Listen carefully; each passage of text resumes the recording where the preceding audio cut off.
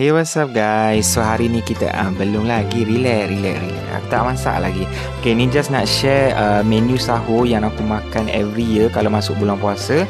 Basically ambil satu cawan oats uh, Campur dengan satu cawan fresh milk Okay gaul Lepas tu letak tepi And then kita ambil empat biji kurma yang dah dibuang. Uh, Tu kena minyak panas sebenarnya. Okay buang biji Lepas tu kita rendam dengan satu cawan air. Yang ni aku guna empat biji kurma. Kalau lima macam manis sangat. Lepas tu kita pun nak tidur tu letak dalam peti sejuk And then bangun sahur tu ah tada. Dia kurma tu dia dah kembang And then oats tu dia dah serap susu tu lah. Lepas tu kita pun blend dua benda lah ni.